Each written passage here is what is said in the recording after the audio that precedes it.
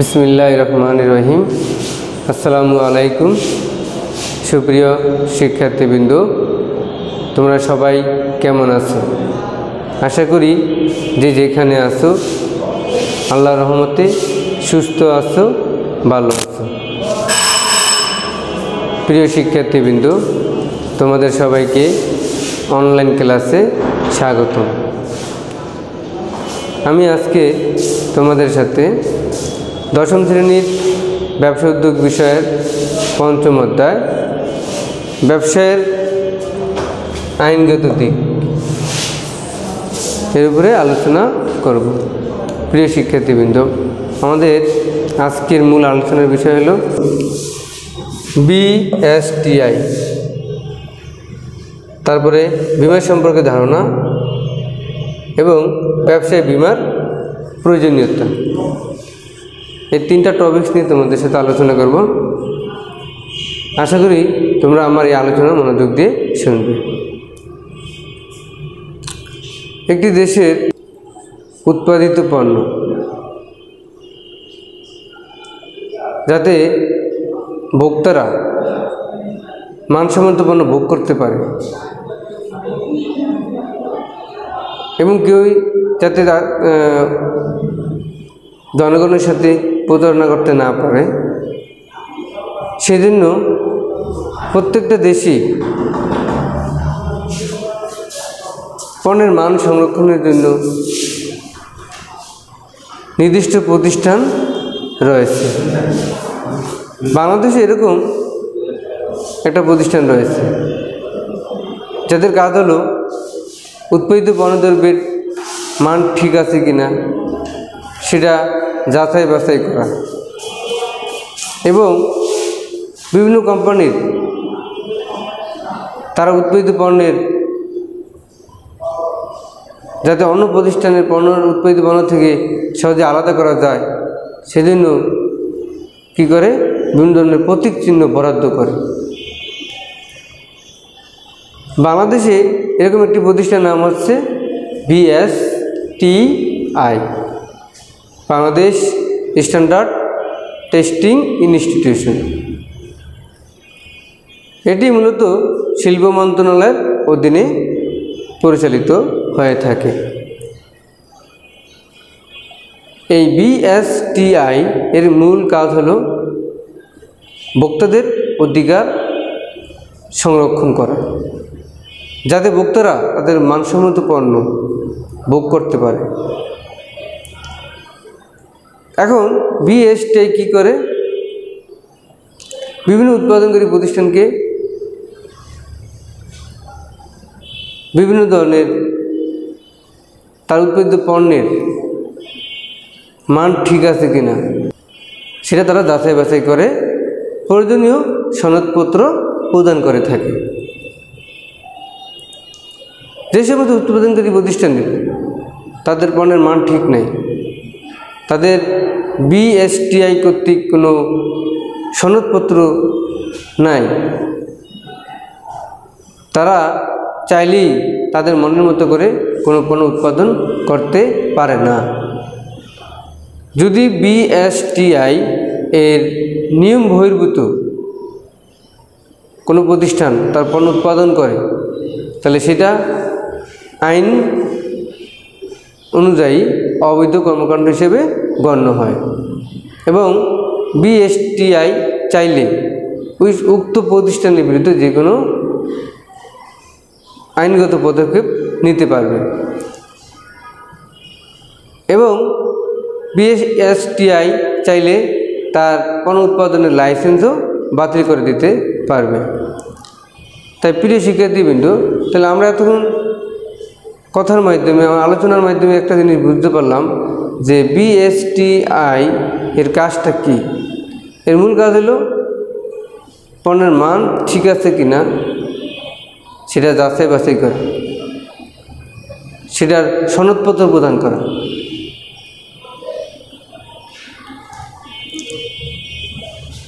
যাতে ভোক্তার অধিকার ঠিক থাকে। ভোক্তারা যাতে কোনো পণ্য ভোগ করে প্রতারণার শিকার না হয়। এটার দেখভাল করার দায়িত্ব হইল বিএসটিএ আই এর এইবার আমরা আসি প্রিয় শিক্ষার্থীবৃন্দ, বিমা সম্পর্কে ধারণা। বিমা জিনিসটা কি? যে কোনো কাজের ক্ষেত্রে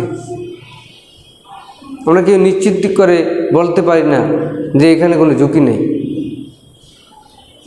কাজ করতে গেলে, ব্যবসা বাণিজ্য করতে গেলে ঝুঁকি থাকবে। কোনো না কোনো কারণে ব্যবসায় ক্ষতি হওয়ার সম্ভাবনাকে আমরা কি বলি? ব্যবসায়িক ঝুঁকি বলি। একটা ব্যবসায় দুই ধরনের ঝুঁকি হয়। একটা হলো প্রাকৃতিক ঝুঁকি আর একটা কি? অপ্রাকৃতিক ঝুঁকি। প্রিয় শিক্ষার্থীবৃন্দ, প্রাকৃতিক ঝুঁকি কীগুলো প্রাকৃতিক ঝুঁকি হতে পারে জ্বর, বন্যা, সাইক্লোন, অতিবৃষ্টি। এইসব কারণে যারা ব্যবসায়ী, তারা আর্থিকভাবে কি হয়? ক্ষতিগ্রস্ত হয়। সেই খ্যাতে অনেক ফসল ফলাইল অতিবৃষ্টির কারণে তার সেই ফসল নষ্ট হয়ে গেল। এটা তার জন্য একটা ঝুঁকি। তার উৎপাদিত পণ্য এক জায়গা থেকে আরেক জায়গায় স্থানান্তর করার কারণেও দুর্ঘটনা ঘটতে পারে। পরিবহন দুর্ঘটনা ঘটতে পারে না প্রিয় শিক্ষার্থীবৃন্দ। এই সমস্ত কারণে কী হয়? ব্যবসায়ীর আর্থিকভাবে ক্ষতিগ্রস্ত হয়। এখানে আরেকটা ঝুঁকি হলো অপ্রাকৃতিক ঝুঁকি। সেটা হলো কি? চুরি ডাকাতি, অপহরণ, নৌ দুর্ঘটনা, গাড়ি দুর্ঘটনা। এই সমস্ত কারণেও ব্যবসায়ীরা কী হয়? আর্থিকভাবে ক্ষতির সম্মুখীন হয়। এখন এই সমস্ত ক্ষতি থেকে আমরা কীভাবে রক্ষা পেতে পারি? এক্ষেত্রে একটা উপায় আছে, সেটা হলো বিমা। যদি আমরা আমাদের ব্যবসা প্রতিষ্ঠানের উৎপাদিত পণ্যের নামে যদি বিমা করতে পারি। তাহলে যদি কোনো কারণে ক্ষতির সম্মুখীন হয়, তাহলে আমরা উক্ত ক্ষতিটা কিছুটা হলেও পুষিয়ে নিতে পারব।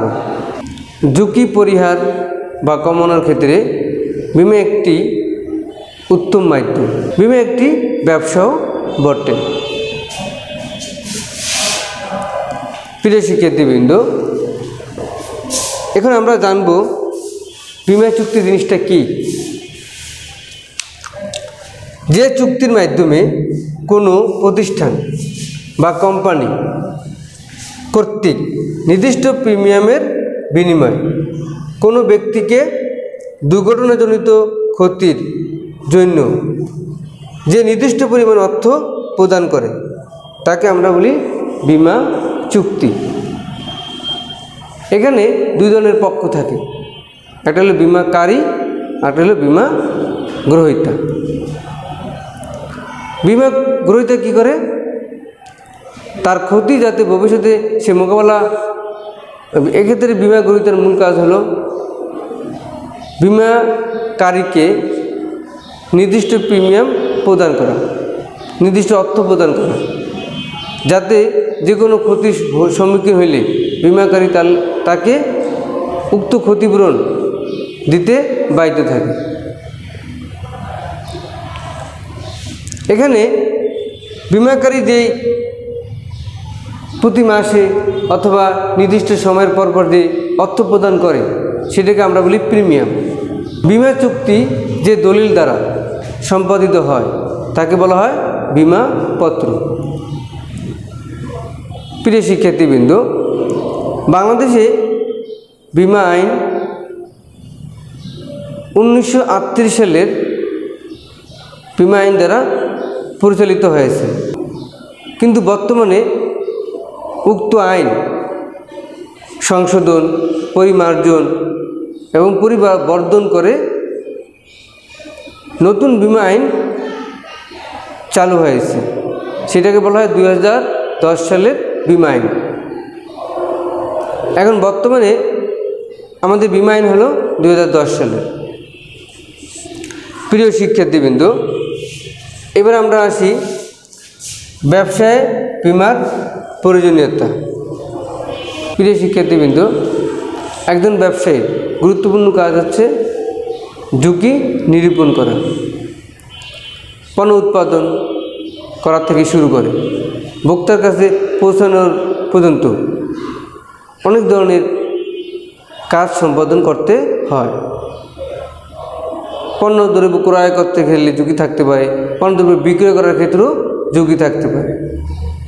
তা এই ধরনের ঝুঁকি পরিহার করে সামনে এগিয়ে যাওয়ার জন্য একজন ব্যবসায়ীকে কী করতে হয়? তার উৎপাদিত পণ্যদ্রব্যের বিমা করা প্রয়োজন হয়। যদি তার উৎপাদিত পণ্যদ্রব্য বিমা করা থাকে, তাহলে দেখা যায় যে কোনো দুর্ঘটনাজনিত কারণে যদি সে আর্থিক ক্ষতির সম্মুখীন হয়, তাহলে বিমাকারী কী করে? উক্ত দুর্ঘটনাজনিত ক্ষতির কারণে বিমা গ্রহীতাকে নির্দিষ্ট পরিমাণ অর্থ প্রদান করতে বাধ্য থাকে। যার কারণে ব্যবসায়ীরা আবার তার প্রয়োজনীয় ক্ষতি পুষিয়ে নতুন করে সে তার ব্যবসা বাণিজ্য সামনের দিকে এগিয়ে নিয়ে যেতে পারে। তাই ব্যবসা বাণিজ্য করার ক্ষেত্রে বিমার কোনো বিকল্প নাই। প্রিয় শিক্ষার্থীবৃন্দ, এতক্ষণ আমরা যে আলোচনা করেছি, তার উপর ভিত্তি করে তোমাদের উদ্দেশ্যে কিছু বাড়ির কাজ থাকবে। আজকে বাড়ির কাজ কি? বাড়ির কাজ হলো বিমা চুক্তি কি ব্যাখ্যা করো। ব্যবসায়ের ক্ষেত্রে বিমার প্রয়োজনীয়তা ব্যাখ্যা করো। এই বাড়ির কাজ দুটি তোমরা বিদ্যালয়ে নির্দিষ্ট সময়ে এসে জমা দিয়ে যাবে তোমরা সুস্থ থাকো ভালো থাকো। আল্লাহ হাফেজ।